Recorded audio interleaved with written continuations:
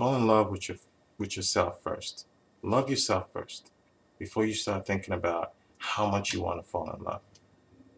Because here's the thing, if you don't love yourself first, be in love with yourself first, even if you do end up falling in love, then you're gonna put you're gonna base your entire sense of worth, your entire sense of self-esteem, your entire sense of direction in your life on that person that you're in love with because you haven't done the work on yourself. You haven't been able to stand on your own two feet, love yourself for you. So now you're projecting everything, all those emotions, all those desires on someone else because you don't love you yet or you're not in love with you yet. So love yourself first. If you want so badly to fall in love, love yourself first. And then when the proper time comes around, and it, it, it will happen, you will fall in love with someone else, but not because you need that person in order to feel like you're alive or in order to feel like you're someone, but you do it because it complements you.